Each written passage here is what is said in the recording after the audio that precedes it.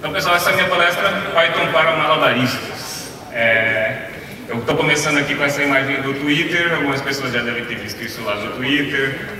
Estou é, muito orgulhoso de ter recebido muitos coraçõezinhos, galera, coraçãozinho para vocês também. isso aqui foi quando eu comecei a montar a palestra, já tinha 113 lá, já, acho que tem mais de 120 lá, e achei legal pra caramba. E tudo começou lá. Começou no Twitter essa ideia de fazer essa palestra, de, de, fazer essa brincadeira, de começar a estudar isso aí. Tudo começou ali no Twitter. É, até estava conversando com o Elias, esse cara aí, o Ned Batchelor, Batchelor ele é um cara é, bem ativo na comunidade Python. Ele tem uns posts muito bacanas sobre Python e ele postou assim no finalzinho de 2015 essa coisa assim, ó, ache alguma coisa física para aprender, né? No caso dele, especificamente, ele queria aprender a fazer virada olímpica na piscina e queria aprender a fazer malabarismo com cinco bolas. Ele disse que tinha sete anos que ele tinha já postado que, ó, oh, vou aprender esse ano. Então, todo ano ele ia tentar de novo fazer com cinco bolas, mas ainda não tinha chegado lá. E eu li o blog dele, achei legal pra caramba, e falei, pô, acho que eu vou tentar, né? Beleza. Aí ele me respondeu, ó, que massa, velho, isso é a comunidade Python, é por isso que eu gosto de Python. ele falou assim, ó, se você vier na PyCon, eu te dou uma aula. Porra, velho, massa, fiquei orgulhoso. Falei, não, então agora eu tenho que aprender mesmo. Então, desde o dia 31 de dezembro aí, eu estou todo dia treinando, treinando, treinando, para tentar é, aprender esse negócio aí. E aí o malabarismo, é, o Roger vai fazer mais uma demonstração aqui na frente, não, Roger? É uma coisa, faz aí. Ó, é, chega aqui no palco aqui para a câmera te pegar. É, é, o malabarismo em si, assim, com três bolas, essa coisa assim é, é razoavelmente simples, né? Assim, você é, é, é, o mesmo movimento nas duas mãos, né? Você joga as duas bolas para dentro e pega com a outra mão e tal. Esse é o jeito, por incrível que pareça, é o jeito mais simples, assim, é, é o jeito de começar é esse aí, né? Assim, você tem várias formas, vários movimentos e tal, mas esse é o jeito que a gente começa. Obrigado, Rogério. É, e aí, assim, só que, cara, eu sou programador e eu estudei muito gestão de projeto, aquelas coisas assim, né? A gente faz carreira de TI, a gente nunca é, é só atacante ou só defesa, né? Você joga em todas as posições. E eu falei, cara, eu queria um jeito de medir. Será que eu estou avançando, né? Assim, pô, hoje eu fiz quantas? Amanhã eu fiz. Eu falei, ah, vou aproveitar, né? Já que é a comunidade Python que está me chamando para aprender malabarismo, vamos aprender um negócio aqui com Python, fazer o. E aí, se vocês forem lá no site, vocês vão ver aí, ó, é, que o OpenCV, a biblioteca OpenCV, você pode baixar ela para Windows, para Linux, para Mac, Linux barra Mac, iOS, não sei nem o que isso quer dizer. E mais o jeito que eu fiz foi esse aqui, ó. Nosso amigo Stallman. É, sudo apt-get install python OpenCV. Você está com todas as dependências, está tudo lindo. Enfim, leva um tempinho aí, ele vai baixar tudo, mas assim, um comandinho só, você resolve seu problema e aí já pode começar a brincar. Só tem esse problema aí. Né? É, essa biblioteca, se olhar as dependências dela, eu não, desculpa, eu não consigo ver o mouse aqui. Ah, estou vendo. Então, assim, ela depende do Python antes de 2.8, né, ou seja, 2.7. Né? E aí a gente tem que parar e começar. Cara, olha o meu adesivinho aqui, ó. Não sei se vocês vão ver, tem um adesivinho Python 3 com essa palestra voltada para iniciantes, eu falei, cara, eu tenho que parar um segundo e falar, galera, vamos estudar Python 3, hein, galera? Já tá na, passou da hora. Mas, infelizmente, sim, para esta coisa específica, esta brincadeira que a gente vai fazer, a gente vai fazer em Python 2. Tá? É só para vocês não me xingarem na hora que a gente estiver fazendo as demos aqui. É, essa biblioteca, a, a, o próprio OpenCV, a partir do 3.0, ele já tem... Porque ele está como o Python, né? Assim, ele tem um, um uma versão 3 rolando e tem uma versão 2 também em paralelo. A versão 3 já tem os hookups, assim, né, é uma APIzinha para Python, mas essa daí ainda não tem. Então ficou para mais tarde e aí isso depois vai virar pacote no Debian, então até ficar fácil, maduro do jeito que está esse, vai levar um tempinho. Então, vamos fazer uma coisa de coragem aqui, vamos tentar fazer uma demo rapidinha, só para mostrar para vocês. Isso aqui eu estava fazendo capturando aqui vocês, desculpa aí. vocês vão ver, a câmera ela fica azul quando eu começo a, a pegar alguma coisa. Então, ó, vou dar um Ctrl L aqui, não para esconder o Python 2.7, que eu já falei que eu estou usando, mas só para ficar mais fácil de vocês verem aí o que, que eu estou fazendo. Então, eu importo né, a biblioteca, e aí eu posso fazer assim, câmera igual a cv2.video capture e eu passo um inteiro ou passo um nome de arquivo de vídeo e tal. Vou passar um, zero seria a minha webcam aqui, um é a de vocês, que está aí para o lado de vocês. É, então ali está a minha câmera, e aí eu tenho assim um retorno que eu não vou usar, então vou botar um underscore, e a imagem eu pego da minha câmera, ponto, read. Vocês vão ver a, a câmera vai acender azul, porque ela vai ficar num modo de captura. Né? Essa minha câmera, ela, ela, como ela tem mais resolução e tal, ela faz um cachezinho. Então, para conseguir mostrar para vocês direitinho, eu vou capturar algumas vezes, assim, só para é, evitar... O, o, primeiro frame que ela captura, ela captura só pela metade. Ah, é, daqui a pouco vai aparecer a foto aqui. Como é que a gente mostra a foto? Eu dou aqui um cv2.imshow, dou um nome para a janela que eu vou usar, sei lá, plateia, e bota a imagem. Então CV2 IM Show vai mostrar? Não, não mostrou. Por quê? Porque tem uma coisa engraçada nessa biblioteca, ele, assim, você dá o show, mas ela só mostra mesmo na hora que você dá um wait key. Esquisito, né? Mas é assim mesmo. Então aqui, aí está vocês. Né? Isso é imagem estática ainda, né? Vocês estão vendo que eu só capturei aquela foto e ela está aqui. Aí, se eu vou lá, então assim, ó, estou dando um wait key, vou apertar ESC aqui, ah, o ESC é o 27, mas cadê? Não sumiu e tal. Não, então vou fechar por aqui, né? Legal. Ih, pá, não, né? Ó, não é o live code que está dando errado. Eu vou dar um Ctrl C aqui. Ó, ele já até. O, o, o meu Debian aqui fica preocupado aqui. Você quer derrubar o cara aqui? Não, calma, velho. Então vou dar um Ctrl D aqui que eu sumo com ele. E aí a gente lembra do negócio, assim, né? Assim, pensando também nos iniciantes. Mas antes, vamos falar de consistência. Ó, que agonia que me dá isso aqui. Né? Vocês viram ali, eu dei um CV2 IM show, tudo minúsculo, e depois eu tenho que dar um wait aqui com K com camel case, assim, que coisa esquisita. Então tá bom, mas vamos lá. É, exatamente, aquela palestra de como fazer boas libs barra APIs foi, foi legal pra caramba, que falava justamente dessas coisas, de consistência e tal, né? E, e aí tem uma coisa assim, né? O OpenCV, vocês viram o tanto que eu levei aqui para fechar e tal, apanhar, assim, ele tem um negócio que me fez lembrar muito, assim, essa história aqui. Não sei se alguém já teve essa aula de como programar. Você escreve um código, aí você tenta rodar, erro, não dá certo, como tudo na sua vida. Seu código é como sua vida, cheio de bugs e problemas e ninguém te ama. Cara, eu, quando comecei a tentar esse negócio aqui, cara, eu me senti muito assim. Eu falei, cara, não dá certo, isso aqui não é possível, não pode ser desse jeito. Quis largar, achei muito mais fácil o malabarismo do que isso aí, para te falar a verdade. É, porque ele tem uns bugzinhos e a gente vai chegar neles depois. Mas vamos primeiro olhar o que, que é a tal da imagem. Como ele fica dando pau, toda vez que eu for mostrar isso aqui, eu vou digitar de novo, vocês não vão se importar, mas talvez vocês decorem. mas vamos lá, então é a câmera é o CV2.video capture. É, quando eu falar já, vocês podem dar um sorriso e tal. Vamos ver. Em câmera.read. Só que eu vou fazer umas três vezes. Então, assim, ó, vou queimar essa foto e tal. Um, dois, três e X. Beleza. E aí, o que, que eu vou fazer com essa imagem aqui que eu acabei de capturar? Eu quero só mostrar para vocês que cara que ela tem. Então, né, eu capturei ela no I. O que, que é o I? O I é isso aqui, ó ele é um array do, do NumPy, tá? É, e aí, assim, para cada pontinho da imagem, ele tem esses três valores aqui. Então, cada pontinho desse aqui é uma cor, né? E aí, como é que fica o, o, no final a imagem, né? Então, assim, meu i é isso aqui. Se eu der um len de i, eu vou ver que ele tem 480 linhas. Se eu olhar só o tamanho da primeira linha, ele tem 640, né? Então, se eu fizer isso aqui, len i, eu sei a resolução da minha imagem. Minha imagem é de 640 480 e eu estou usando é, três valores de cor para 256. Então, essa é, essa é a minha resolução que eu estou trabalhando, tá? É, e se eu pegar um... Você vê que eu estou colando, tá? Assim, não tenho vergonha, não. É, aqui, então, assim, meu primeiro pixel ele tem os valores 145, 150, 151. Eu acho que vai ter muito mais gente aqui que manja de NumPy, muito mais do que eu, porque eu não manjo nada.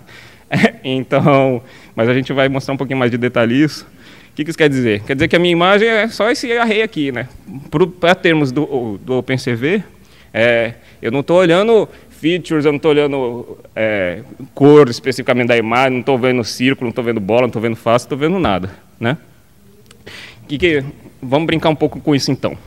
É, só para lembrar aí a galera, né, assim, estamos falando de uma palestra é, para iniciantes, né? Então assim, se eu tenho uma lista qualquer, então vamos fazer assim, ó. Aqui eu botei, não porque eu não sei, mas é só para a gente conseguir ver a imagem do Guido aqui. Na verdade, do Guido não precisa, né? É melhor ver o código. Não vai dar. Mas tá bom. Deixa para lá. É, vamos abrir esse aqui. É, então assim, se eu pegar uma lista, é, range, 10, só para ver, né? Eu tenho uma lista, né? Se eu quiser ver uma lista, vocês sabem, né? A gente pode fazer um split, né? Eu posso pegar do 1 ao 3, ao, ao 3, aqui, sei lá, eu, eu vou ter o 1 e o 2, porque ele não pega o final. Ou eu posso pegar e fazer de tantos em tantos, com um incremento de menos 1, eu faço a lista ao inverso, né? Eu pego ela do fim para o começo. Ah, e eu posso fazer então menos L? Pô, não, não dá, né? Mas eu posso fazer assim, é, menos A for A em L. E aí eu consigo ter todos os valores em negativo. É, mas para que, que vamos usar isso mesmo? Vou mostrar, para a gente fazer isso aqui. Então vou, vamos tirar outra foto de vocês. Né? Então, é, eu ainda tenho alguma coisa aqui. Ah, eu ainda tenho a imagem aqui, cara. Não vou precisar, desculpa. Vocês já vocês sorriram na primeira, não foi? Tá bom. então vou fazer assim, ó. cv2.im show. E aí eu vou pegar essa imagem, a que eu capturei agora de vocês. Vou mostrar, apareceu? Não, claro que não. Tem que dar o H key, hein, galera, não esquece. É, só que como ele dá pau toda vez que eu faço isso, eu já tenho que fazer tudo de uma vez, senão dá ruim. Então, eu vou... Vamos inverter a ordem? Vamos. Como é que a gente vai fazer? Daquele esqueminha, né? Vou usar um array. Aí tem um segredinho, tem uma vírgulazinha assim. Um dia alguém vai me explicar sobre isso, que eu não sei bem por que, que é isso aqui. É, ou não preciso? Talvez não. Vamos ver na cola? Vamos ver na cola. Ó, não preciso não fazer um array, tal. É, esta é a minha imagem invertida. E eu vou fazer uma imagem em negativo, que aí eu vou fazer aqui o menos i. Ó, aqui pode, tá? Ah, porque aqui eu, eu, é um array de NumPy, ele não é um array simples como aquele que eu estava fazendo aquela listinha. E aí para aparecer o key, camel case, hein, tal. E o zero aqui é quanto tempo eu quero esperar. O zero ele fica esperando eu dar enter, ó. Então tá, a gente já tem as três imagens aqui. Vocês olharem aqui em cima, ó, é o nome da janela né, que eu dei. Então eu dei o menos i para dizer que essa aqui é a negativa. Ó. Você viu que eu, só de inverter a ordem dos pixels eu inverti a imagem toda. Né? Assim, é, é, é esse que é o, o, lance que a gente vai pegando aqui. Né? Assim, você está trabalhando é com o array, você não está trabalhando com a imagem. Tá? Assim, só para lembrar que a gente está mexendo aqui é com matemática, né? assim, não com é, propriamente a imagem, tá? as features da imagem. Então, por quê? Porque não tem colher, tá? Se tirar a voz da colher, não é colher, véio. ali é, o que a gente está vendo, o que o computador está vendo não é o garfo. Ele está vendo tipo isso aqui, ó. Né? Vocês estão lembrados da matriz. Então essa é a nossa imagem, beleza? É isso aqui. Então vamos fazer um filtro, né? É, vamos de novo aqui. Aqui, essas janelas tudo ó, já estão tudo bichadas e tal, aí você pode se esconder debaixo da cama em posição fetal, ou você pode vir aqui, dar um Ctrl C, tá bom, interrompe esse trem, quero mais não, deixa para lá. Python, aí vamos lá, import CV2, tal, você faz tudo de novo. Câmera, o que, que era mesmo, galera? Vocês lembram? CV2. Video Capture 1. É, que mais? A imagem. Minha imagem então vai ser a câmera.read. É, vou fazer umas três vezes aqui. Digo X, X. Ó, joinha. Uh! Python! Aê! Uh! Aí agora, o é, que, que eu ia fazer? Já esqueci. Vamos olhar lá, pá. Então, vamos fazer um, um, filtrozinho, né? Vamos tentar fazer esse negativo bacana da nossa imagem filtrando uma cor específica, né? Então, vou pegar um mínimo, que vai ser... Vou ter que importar o um NumPy. É, NumPy as NP. E aí eu vou criar meu mínimo aqui vai ser um np.array, e aí vou escolher três valores, vou pegar aqueles que eu tinha anotado ali, não lembro o que, que eles eram não, mas vai ser bom, acredite. É, tal, e meu máximo, preguiçinha aqui, vou pegar, pam, pam, máximo, np array, é, vamos ver isso. 90. Ih, fiz merda. Não, aqui tal. Desculpa, palavrão. Pau. É, e aí, o que, que eu vou fazer? Então a imagem eu já tinha e vamos fazer a máscara. Então a máscara, CV2, ponto. Aí a sintaxe eu não lembro, porque tem coisa que é maiúsculo, minúsculo e tal. In range, minha imagem, mínimo e máximo. É, vamos olhar a cara da, da máscara então, né? CV2, IM Show, a imagem era isso, vocês de braços aí levantados, foi bacana e tal. E a máscara. A máscara é a imagem filtrada, assim, né? Não, é... Sei se é esse o termo que vocês usariam. Show key, zero. Ah, deu ruim. Por quê? Oh, wait key, desculpa. Ah, para ver que vocês estavam dormindo. Vocês não, hein? Aí, filtramos o que aqui então, né? Vocês estão vendo que é, dessa imagem daqui. Ó, oh, não apareceu os braços levantados, né? É aquela coisa. Eu acho que ele pegou foi a primeira imagem, não a última. Bom, deixa para lá. é, então, se a gente pegar aqui a máscara, ó, você vai ver que lá no fundo, o que, que tinha? Não sei, vamos olhar. Ele pegou um pouco dos rostos de vocês e tal. Então, é acho que ele filtrou só barba aqui, não foi não? vamos olhar aqui que diabo é isso aqui. É, o que, que é o array que eu criei? O array é um array de cores RGB, que na verdade o OpenCV usa BGR. Ah, por quê, cara? Porque é mais legal, mais confuso, né? Sei lá. E aí, se eu pegar, nesse meu exemplo aqui, o que, que eu usei? Eu usei o array 108, 11, aqui assim, o primeiro pixel da minha imagem tinha esse valor. E o que eu estava filtrando era 30, 30, 80 e 90, 90, 255. 108, 111, 119 vai dar isso aqui, assim, né? Mais ou menos uma cor aqui, por aqui, e o filtro que eu estava fazendo, eu esperava que tinha esse tanto de azul, esse tanto de verde, e esse tanto, ou esse tanto de vermelho. Então, então esse pixel aqui não entrou no filtro porque ele estava aqui, né? Fora dessas duas faixas. Então ele, ele não entrou por quê? Porque ele é muito gordo, muito baixinho, muito isso, muito. Não, é porque ele era muito loiro. E aí, isso aí você fala assim, cara, então, mas como é que eu vou trabalhar com isso assim? Eu tenho três valores para eu procurar, eu só conheço essas seis cores, cara. Eu, eu para mim, assim, ou o negócio é azul, ou é preto, não tenho muito esse negócio assim. Como é que eu vou achar assim, um tantinho de azul, um tantinho de vermelho que vai dar exatamente o que eu preciso? Eu preciso trabalhar com HSV.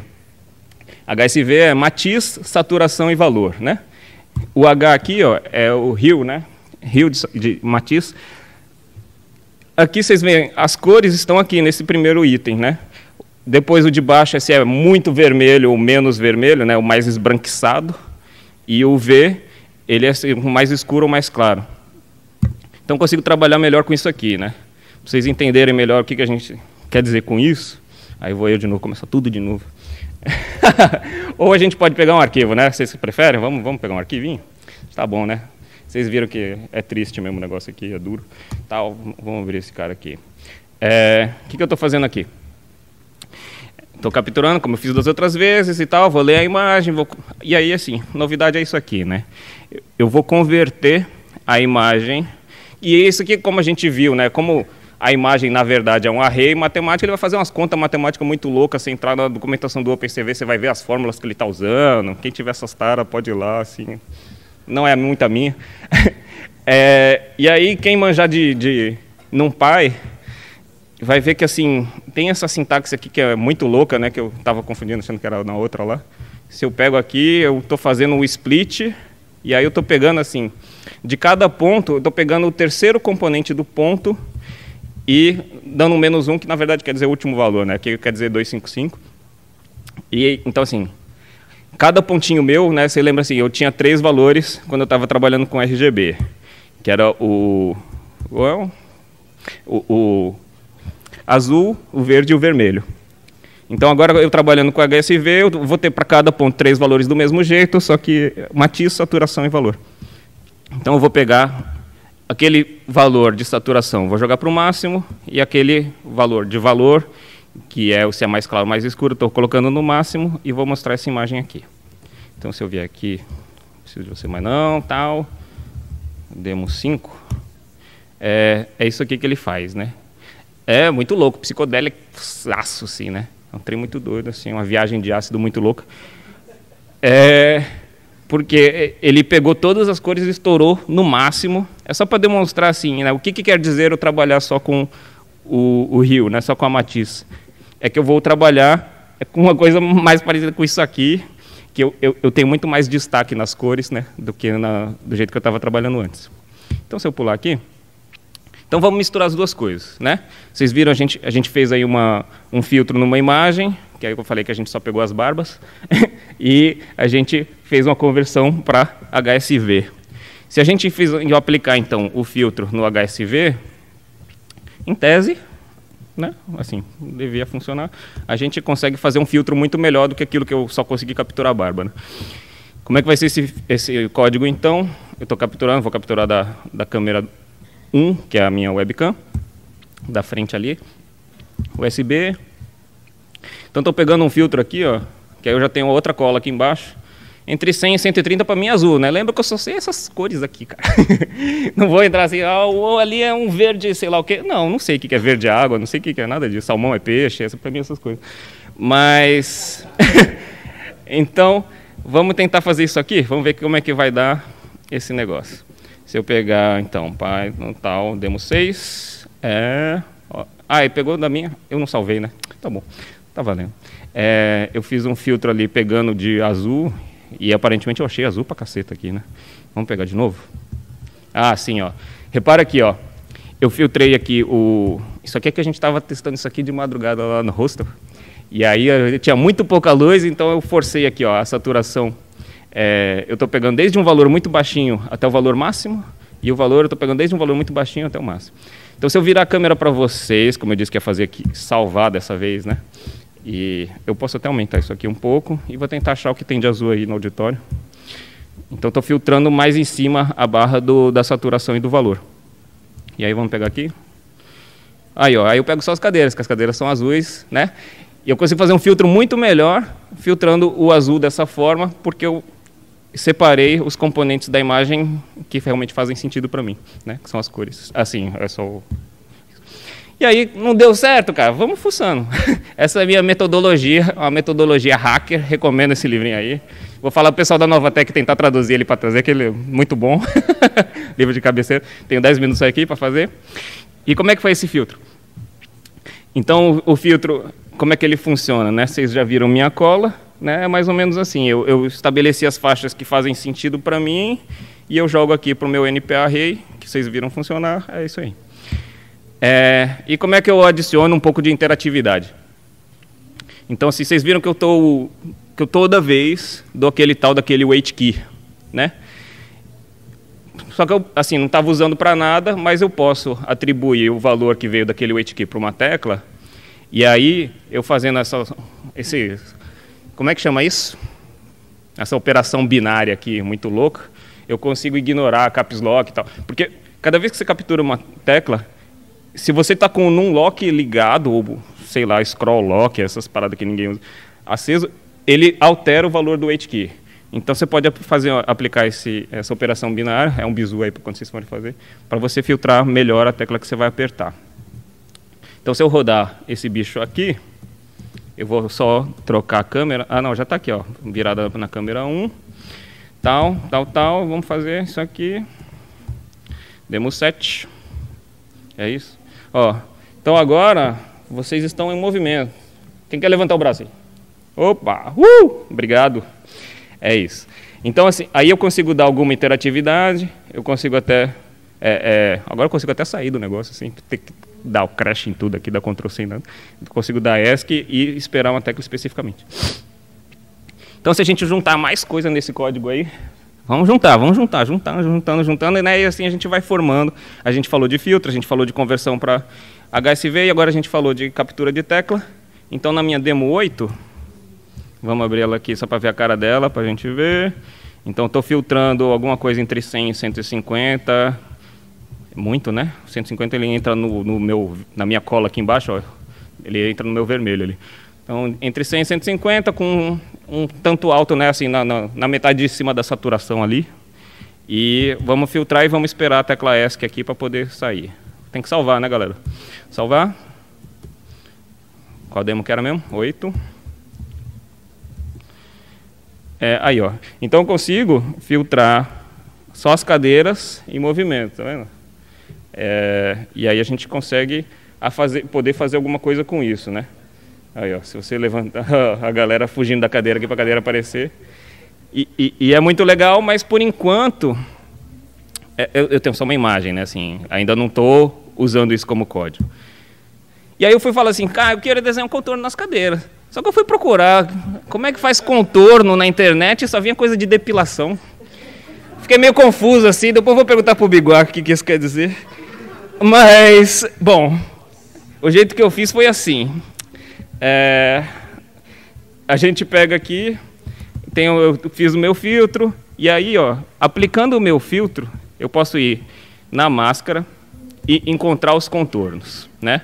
Ele tem esses parâmetros muito loucos aqui, eu fui estudando. É, esse aqui ele traz só uma lista de, de todos os objetos que ele achou e ele faz uma aproximação simplificada. Isso aqui é as contas matemáticas, muito louco também. Quem tiver essas taras, vai com fé. É, e, e, aqui ele vai então me devolver uma lista, eu vou iterar essa lista, então ela vai me devolver quatro valores, e aí eu vou usar essas, esses valores para desenhar um retângulo, que é uma coisa que eu não falei também de desenhar na tela, mas bom, o código está aí, o GitHub e tal, fiquem à vontade. É, eu não olhei que câmera que a gente está usando, câmera 1, beleza. Então vamos fazer demo 9, né? Olha lá, as cadeiras, tudo circuladinha, ó. Tchan. É, se a gente mexer na câmera aqui, ó, vamos procurar mais. Aí ele achou uns azulzinhos lá em cima. A gente, o próprio OpenCV ele tem um algoritmo. Tá vendo que vocês têm muito pontinhos aqui? Ele achou um monte de objeto dentro de cada cadeira. Você, e tem uns algoritmos aí para você trabalhar com isso, para completar os círculos melhor e tal, mas acho que não cabe aqui no, nos meus últimos cinco minutos aqui que eu tenho. É, então vamos lá. Represa aqui a gente poderia fazer, mas acho que eu vou pular. O Roger já fez aí, né? Tá valendo?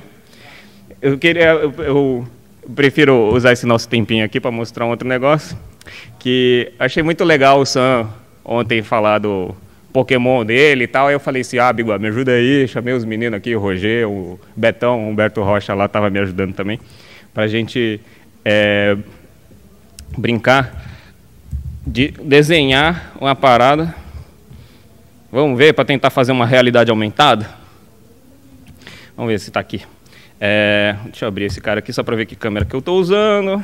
Eu estou usando a minha, não ia ter tanta graça. Que cores que eu estou usando? Estou usando um, um, vermelho vivo, não quero. Vou querer usar melhor aquela corzinha que usamos há pouco na nossa demo 9, que está aqui. Então vamos usar o azul das cadeiras. E aí, o que, que, será que a gente pode fazer? Ó, hidratação é importante, hein, galera? Esquece não. É, tum. E vamos ver o que, que vai aparecer aqui. Temos. Ah!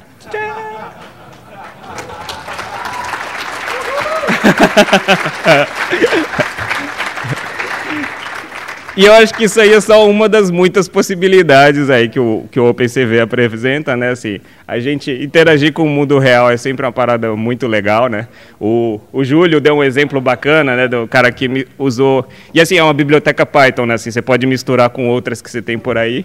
Então o Júlio falou assim, ah, pô, teve um cara que pegou, usou o PyGame...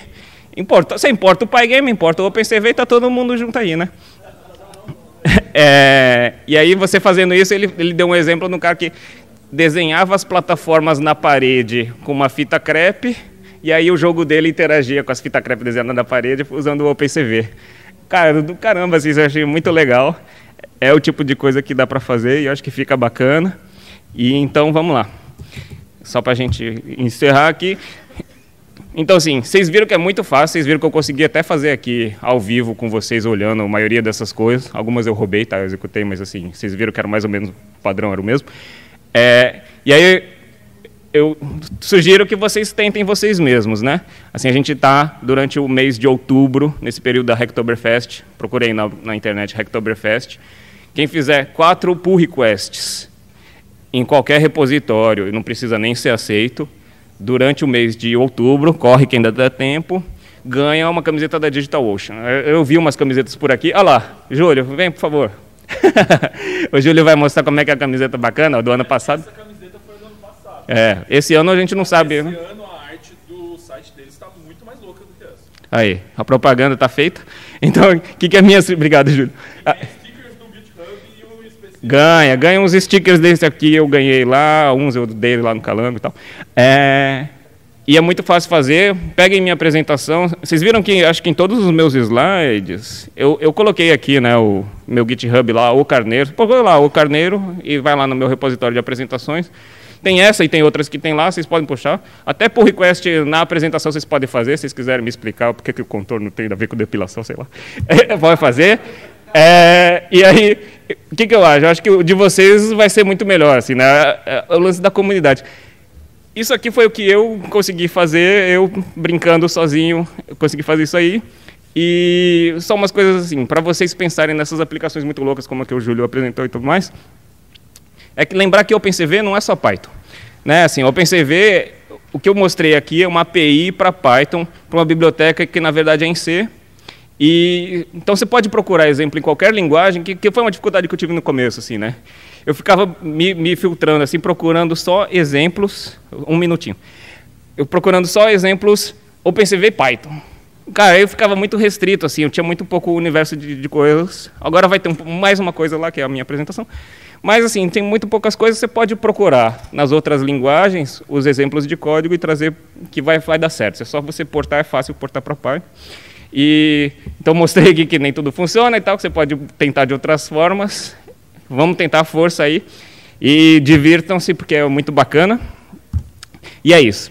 Quem quiser saber mais e tal, me procurar, me cutucar lá no Twitter, o Carneiro, com três Os.